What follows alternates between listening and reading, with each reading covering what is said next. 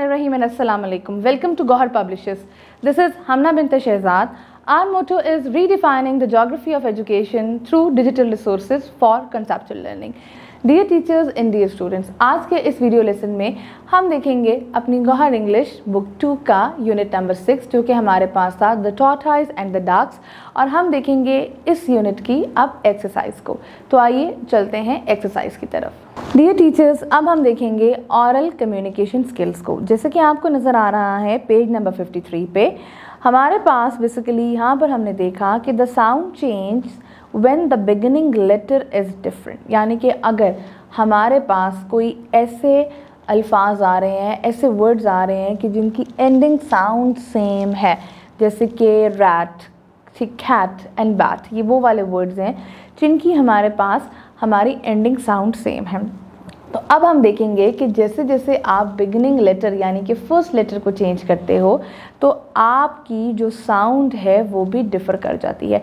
जैसे कि आपको स्क्रीन पे नज़र आ रही है एक डायग्राम एट एक सेंटर में एट लिखा हुआ है र at the word is rat ख एट कैट ब at bat at hat at fat अब चलते हैं। अगले क्वेश्चन पे एक्सप्रेसिंग नीड्स एंड फीलिंग्स आपने जब भी ऐसे क्वेश्चंस करवाने हैं, इसके लिए क्लास में से आपने दो स्टूडेंट्स लेने हैं, और इसको प्रैक्टिस करवाना है। What do you need I need some food do you need water yes I need water do you need anything else no I am fine thank you जी, अब चलते हैं अपने पेज नंबर 54 पे। पेज नंबर 54 पर हमारे पास है reading and critical thinking skills यहाँ पर हमने क्वेश्चन आंसर्स देने हैं हमारा पहला क्वेश्चन है re read the lesson and answer the following question where did the ducks and tortoise live the ducks and the tortoise lived around the pond why did the ducks and the tortoise decide to leave the place they decided to leave the place because there was no rain for long and the pond dried up there was no food for them. How did the tortoise hold the stick? The tortoise hold the stick with its strong teeth. Where did they reach after leaving? Where did they reach after leaving the pond? They reached a beautiful valley. Formal and lexical aspect of a language. Read aloud and match the action word with the related picture जैसे कि आपको screen पर नज़र आ रहा है, एक picture है प्लेइंग प्लेइंग को अगर आप देखें तो प्लेइंग पे बेसिकली ये लास्ट पिक्चर जहाँ पर बच्चे प्ले कर रहे हैं राइटिंग फ़र्स्ट पिक्चर के साथ स्क्रीन पे देखें मैच हो रहा है रीडिंग जहाँ ये बच्चा एक रीड कर रहा है जंपिंग जहाँ ये तीन बच्चे जंप कर रहे हैं.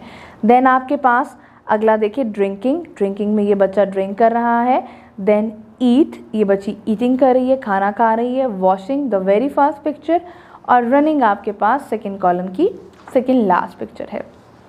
Then rearrange the words to make the meaningful sentences example है देर टू वर डक्स और अगर हम इसको अरेंज करते हैं तो देर वर टू डक्स अब चलते हैं, अपना जैसे कि आपको स्क्रीन पे पेज नंबर 55 पे नज़र आ रहा है।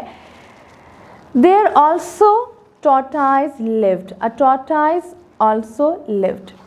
Away wanted to duck the fly.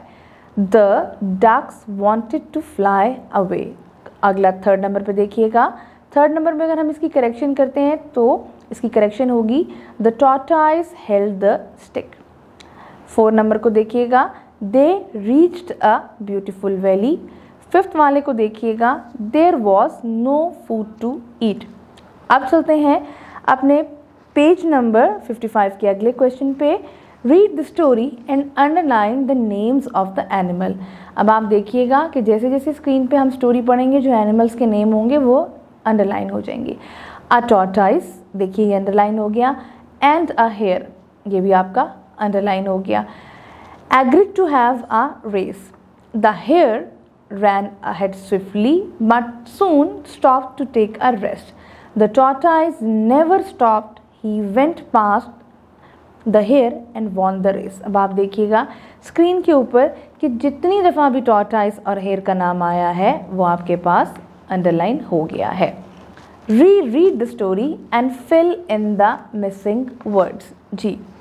अब यहाँ पर हमारे पास जो स्टोरी है, इसको जो हमने पढ़ी है, इसको पढ़ते हुए हमने मिसिंग वर्ड्स को फिल करना है। जैसे कि There lived two ducks and one tortoise around a pond they were good friends one season they had no food to eat because it didn't rain The ducks carried the tortoise on a stick. They flew and reached a beautiful valley. They lived there happily. Ji dear teachers and dear students ये था हमारा आज का video lesson I hope आपको ये video lesson पसंद आया होगा। एक नए वीडियो लेसन के साथ फिर मिलेंगे। तब तक के लिए अल्लाह हाफ़िज़।